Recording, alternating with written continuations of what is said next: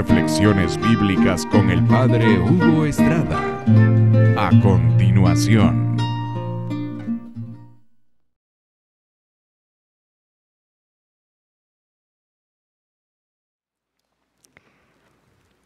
Todo el año nosotros centramos nuestra atención en lo esencial de la Biblia, Jesús. Y por eso, como la Tierra va dando vueltas alrededor del Sol, así nosotros vamos girando alrededor de Jesús, meditando su nacimiento, su predicación, su muerte, su resurrección, su ascensión, su venida por medio del Espíritu Santo. Ahí está todo. Y por eso nuestra iglesia nos ha preparado un método para leer todos los evangelios en el transcurso de tres años. Para el ciclo B pone el Evangelio de San Mateo, que es el más largo. El ciclo B, el Evangelio de San Marcos, que es el más breve. Y el ciclo C, el Evangelio de San Lucas. Y San Juan lo distribuye en los tres años. Así nosotros hemos pasado durante estos años todo el Evangelio meditando siempre en Jesús. En el ciclo B nos toca el Evangelio de San Marcos, es el más breve. Algunos creen que San Marcos como que tomó apuntes de la predicación del primer Papa San Pedro. Esto es muy importante entonces. Y entonces él rápidamente lo resumió. Es el Evangelio más breve, el de San Marcos. Él se ha comparado con un periodista, rápidamente dice las cosas San Marcos, quiso hacer un resumen y ese es el Evangelio de San Marcos. Y él comienza precisamente en una forma maravillosa, dice, principio del Evangelio de Jesucristo, Hijo de Dios. O sea, aquí dijo todo, aquí dijo todo en esta frase. Evangelio quiere decir la buena noticia. Para nosotros la mejor buena noticia vino el único que nos puede alcanzar la salvación. Se llama Jesucristo, dos nombres en uno. Jesús quiere decir Salvador. Cristo quiere decir ungido, el Mesías de Dios. Hijo de Dios, ya nos dijo todo. Jesús no es como un personaje famoso nada más, es Dios. Y esto lo prueba la Biblia, porque Jesús lo probó con su muerte y su resurrección. Entonces, ese es nuestro estudio. Vamos a pasar toda nuestra vida y nunca nos va a alcanzar para profundizar todo lo que tenemos que saber acerca de Jesús muerto y resucitado. Así es que en el ciclo B que nos toca este año, nosotros vamos a ir meditando en el Evangelio de San Marcos, el más breve de todos. Aquí mismo se decía que iba a haber un precursor, alguien que le iba a preparar el camino. Ese fue Juan Bautista. El papá de Juan Bautista era un sacerdote y mientras estaba en la ceremonia, él triste porque ya había pasado el tiempo en que pudieran tener hijos, su esposa era ancianita y de pronto un ángel le dice, de parte de Dios te anuncio que vas a tener el hijo. Ya no se puede, somos ancianos. El ángel le dice, vas a quedar ciego por no estar creyendo lo que te estoy diciendo en nombre de Dios. Entonces, eh, perdón, no ciego, sino mudo. Quedó sin poder hablar, el pobre volvió a su casa mudo. Y así permaneció hasta que nació el muchachito Juan Bautista. Entonces se le soltó la lengua. Le costó a este hombre poder creer que iba a ser realidad que ellos viejitos tuvieran un hijo y tuvieron nada menos que a Juan Bautista, que venía señalado para prepararle el camino al Señor. Nace Juan Bautista y se va al desierto y comienza a predicar en una forma muy impresionante. Y el gentío que llegaba, piensen que no era fácil. Tenían que dejar la ciudad, no había camionetas, no había transporte y tenían que ir al desierto a aguantar sol y a empolvarse. Pero todos se decían es que está predicando en una forma maravillosa y así estaba predicando con el poder del Espíritu Santo. Y predicó que el Mesías venía con un hacha en la mano para cortar lo que no estuviera bien que venía con un rastrillo en la mano también.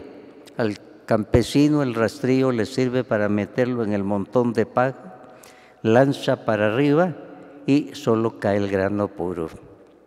El Mesías venía para ver qué era grano puro y qué era basura, y eso es para nosotros. Jesús es nuestro examen para ver qué somos nosotros, si basura o paja que se lleva el viento. Ahora, la gente recibía también el mensaje que confesaban sus pecados y pedían ser metidos en el río como símbolo de purificación. Y en eso debe terminar la predicación del Adviento.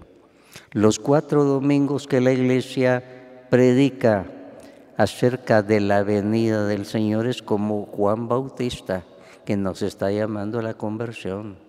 Prepararnos bien porque si no, Jesús no va a nacer más en nosotros. Se supone que ya nació desde el día que nos bautizaron, pero no ha nacido lo suficiente, no lo hemos dejado desarrollarse espiritualmente en nosotros. Eso depende, entonces cada vez nos vamos abriendo más y más. La gente ante la predicación de Juan Bautista decía, ¿qué debemos hacer? Es que la religión de Jesús no es teoría. Bienaventurado el que escucha la palabra de Dios y la pone en práctica, dijo Jesús. Nosotros debemos ser oidores y hacedores de la palabra. Entonces no es para oír la Biblia, es para oírla y vivirla, practicarla. Entonces la gente oía y miren lo que hacían, confesaban sus pecados y pedían ser hundidos en el río, necesitaban purificación y esto es lo que nosotros debemos pedir en este tiempo de adviento. Ante la predicación el Señor pone el dedo en la llaga y nosotros queremos ser sanados, queremos ser curados, vemos nuestras deficiencias, entonces tenemos el tiempo para enderezar lo torcido. Porque Juan decía eso, tienen que enderezar los caminos torcidos. Todo lo que está torcido nos impide que Jesús llegue para reinar en nuestra vida. Ahora, vean lo que le pasó a Juan Bautista. Al rey Herodes le gustaba mucho ir a Juan Bautista, cosa rara un rey, un pecador, pero le gustaba, pero solo oír y no ponía en práctica. Pero Juan Bautista un día, como profeta, tuvo que cumplir su misión y le dijo, Majestad, no le es lícito vivir con la mujer de su hermano. Él estaba viviendo ilícitamente con la mujer de su hermano. Y aquella mujer dijo, este me las va a pagar y no descansó hasta que consiguió que le cortaran la cabeza a Juan Bautista. Así es que Juan Bautista cumplió su misión y lo mandaron a la cárcel. Y cuando estaba en la cárcel, los discípulos le, contaban a Juan Bautista, ya vino el Mesías, se llama Jesús, está diciendo que ha venido para librar a los que estén oprimidos. Y Juan Bautista en la cárcel y no lo sacaba. Y entonces le mandó a preguntar, ¿eres tú el que ha de venir o debemos esperar a otro? Estaba una crisis de fe el pobre Juan Bautista y Jesús no lo sacó. Únicamente le mandó a decir, hizo primero varios milagros, los que anunciaba la escritura que iba a ser el Mesías, hizo varios milagros. Y después les dijo, vayan a decirle a su maestro esto y díganle, dichoso el que no se escandaliza de mí. O sea, Juan Bautista, no te escandalizas de mí. Es decir, sigue confiando en mí, a pesar de que estés en la cárcel y de que te van a cortar la cabeza. Eso no se lo dijo, pero el Señor ya sabía que le iban a cortar la cabeza. Hermanos, eso es lo que el Señor nos dice en momentos difíciles de nuestra vida también. No desconfíen de mí. Pero ¿por qué me pasa a mí esto? ¿Por qué a mí me sucede, a mi familia, si nosotros somos correctos? Aquellas otras familias, mire cómo les va de bien y ni siquiera a misa van. Dichoso el que no se escandalice de mí. Descandalizarse es desconfiar. ¿Qué pasó con el hijo pródigo que se había ido de su casa cuando se gastó todo y se quedó en la miseria? Entonces tuvo la oportunidad de comenzar a reflexionar tan bueno que era mi papá y lo que le hice yo. Y el portazo que di antes de venirme y las palabras hirientes que le di. Pero no se quedó en teoría de me voy a levantar y voy a ir y le voy a pedir perdón, he pecado contra el cielo y contra ti, no soy digno de ser tu hijo. Y entonces le llegó el perdón. Y el adviento a eso nos lleva cada uno de nosotros nos encontramos en un desierto donde vemos la realidad. El adviento es tiempo de desierto. Es tiempo de silencio. Parece ridículo decir esto en este tiempo de buy antes de la Navidad, pero para el cristiano es un desierto. Para los otros, los del mundo, es un parque de diversiones. Pero para nosotros, en medio de ese parque de diversiones, debemos encontrar nuestro desierto para oír, meditar, para cambiar. Porque si no, Jesús no va a nacer más en nosotros. Yo insisto en esto, nacer más, porque se supone que si somos cristianos, algo de Jesús tenemos. Pero falta tanto que Jesús domine más en nuestra vida, que verdaderamente sea el Señor de nuestra vida. Y nos debe pasar como al hijo pródigo, él todo lo que hice, pero me levantaré y iré.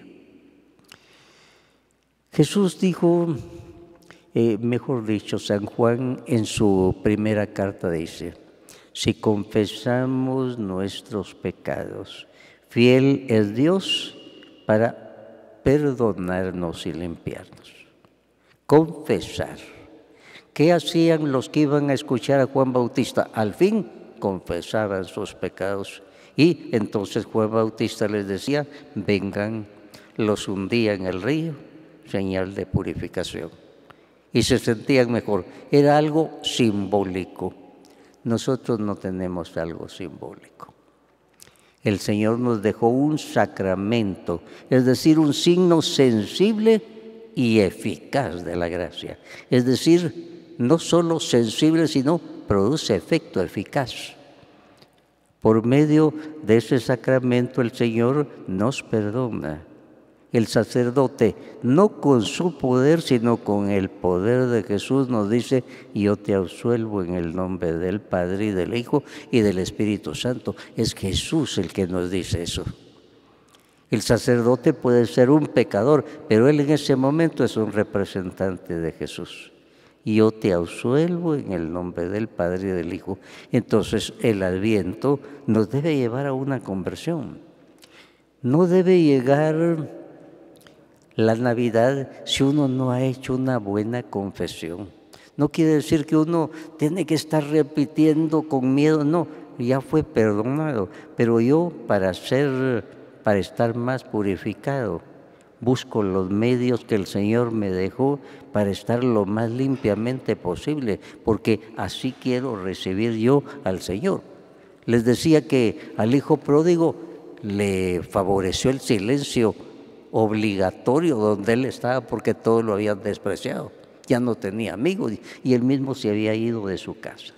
Ahora, Juan Bautista les dijo una cosa maravillosa a los que llegaban. Yo a ustedes ahora los bautizo con agua, pero después de mí va a venir el que los puede bautizar con el Espíritu Santo. Qué cosa tan maravillosa. Jesús es el que nos puede bautizar con el Espíritu Santo. Cada Navidad para nosotros debería ser un nuevo bautismo en el Espíritu Santo. El sacramento del bautismo no se repite una vez que fuimos bautizados, bautizados, pero necesitamos ser más limpiados, necesitamos abrirnos más a la obra de Dios y eso es lo que se procura durante los cuatro domingos de Adviento, abrirnos más. Echarle un poco de agua en la cabeza a alguno es fácil, pero abrirse lo más que se pueda a Dios. A Dios poco a poco lo vamos llevando para que sea nuestro Señor poquito a poquito Nunca Él ha sido el Señor total de nosotros. Esa es la santidad. Y entonces cada día le damos más lugar en nuestra vida, en todas nuestras cosas. Y estos tiempos penitenciales, como son cuaresma y adviento, son para eso, porque nos llevan a unas fiestas solemnísimas nos llevan a la Navidad el nacimiento, nada menos. San Juan lo define en su Evangelio, la palabra de Dios se hizo carne y vino a vivir entre nosotros. Piensen lo que quiere decir eso. La palabra de Dios se hizo carne y vino a vivir entre nosotros. Esa es eh, la circunstancia en la cual estamos nosotros y por eso enderecen lo torcido rellenen lo vacío, las vaciedades que hay en nuestra vida. Que el fuego del Espíritu Santo queme todo eso que no está bien. El Espíritu Santo es fuego para quemar en primer lugar y después para iluminarnos más en nuestra vida espiritual, para que veamos más claramente el rostro de Dios, para que veamos más claramente en qué creemos y por qué creemos ese eh, es, algo muy importante. El Mesías viene con sus siete dones. Los dones del Espíritu Santo son muchos, pero en la iglesia se ha querido como sintetizar a la luz de la Biblia los dones del Espíritu Santo, sabiduría, entendimiento, consejo, fortaleza, ciencia, piedad, y temor de Dios. Son los siete dones del Espíritu Santo. Y nosotros en este tiempo pedimos ser llenados de esos dones porque los necesitamos. Sabiduría no es la sabiduría del mundo. Alguien puede ser un hombre muy sabio ante el mundo y puede ser necio ante Dios. Es la sabiduría de entender las cosas de Dios. Sabiduría, entendimiento, entender lo que Él me dice consejo, es decir, Dios nos aconseja. Continuamente Dios Padre nos está aconsejando por medio del Espíritu Santo, pero muchas veces como el joven malcriado, ni caso le hace. Y nosotros a veces así somos. Él nos aconseja y pedimos que el Espíritu Santo nos ayude a aceptar ese consejo. Fortaleza, necesitamos fortaleza. La vida es una lucha. Por eso tomen la espada del Espíritu Santo, dice el Señor, porque la, la vida es una lucha. Necesitamos la ciencia de Dios. La del mundo la conocemos, hemos estudiado tanto la ciencia del mundo y tan poquito hemos estudiado la palabra de Dios. Si hiciéramos esta comparación, ¿cuánto he estudiado yo la ciencia? Y tan poquito que he estudiado la palabra de Dios por medio de la cual Dios me sigue hablando. Entonces, eso es muy importante, sabiduría. Ciencia, fortaleza y temor de Dios. Cuando la Biblia habla de temor, no quiere decir miedo a Dios. Temor de Dios en la Biblia quiere decir temo ofender a ese Padre bueno. Ese es el temor de Dios. No, ay, qué terrible ese Padre, sino temo ofender a ese Padre tan bueno. Ese es el temor de Dios.